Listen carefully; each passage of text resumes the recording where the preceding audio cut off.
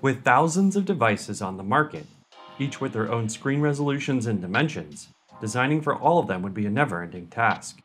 Instead, we want our designs to be flexible and responsive so that they can adapt across these screens. When designing, we position frames and objects within a top level frame, which are frames added directly to the canvas and represent the screen dimensions of the specific device we are designing for. Anything positioned within a frame is called the child object and can be constrained to the edges of their containing frame, called the parent frame. Once constrained, they'll maintain a set distance or proportion from the parent frame's boundaries. Figma displays these constraints as a dashed line extending from the bounding box. Let's test out these mechanics. Create a 300 by 300 square frame and add a 100 by 100 ellipse. Align the ellipse to the horizontal and vertical centers of the frame. You can set constraints across the horizontal axis to the left, right, left and right, center, or scale. Across the vertical axis, you can constrain to the top, bottom, top and bottom, center, or scale. When you create new objects inside a frame, the constraints are set to the top and left by default. Try resizing the frame. See how the ellipse will stay positioned in relation to the top left of the frame? Change the defaults to the horizontal and vertical centers by selecting the center lines within the constraint box. You can also select a constraint via the menu on the right.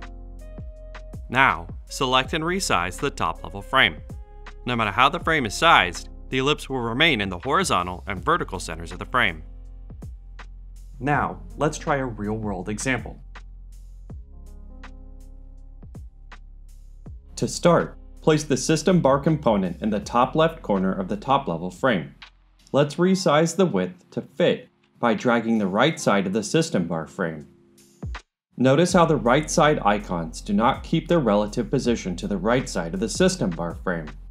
To adjust, press Command and Z to undo the resize and then set the horizontal constraints to right and vertical constraints to center. Finally, resize the width to fit the top level frame. Now, add the tab bar component to the bottom left-hand corner of the top level frame. Resize the width by dragging from the right side. Notice how the icons do not distribute evenly. To keep the icons evenly spaced, we can apply a layout grid.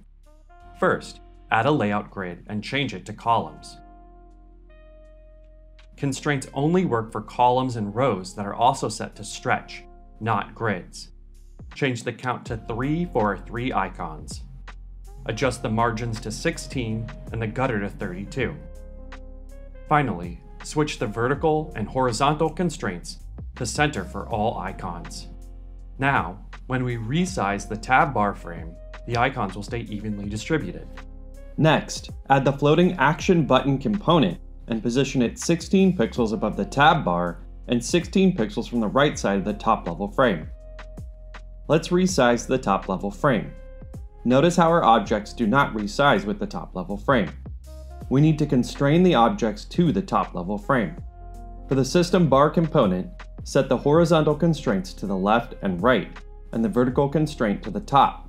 For the tab bar component, set the horizontal constraint to scale and vertical constraint to bottom. For the floating action button component, set the horizontal constraints to the right and the vertical constraint to the bottom. Now, when we resize the top level frame, everything will automatically adjust. Finally, add the app bar component underneath the system bar aligned to the left side. Let's add some new text.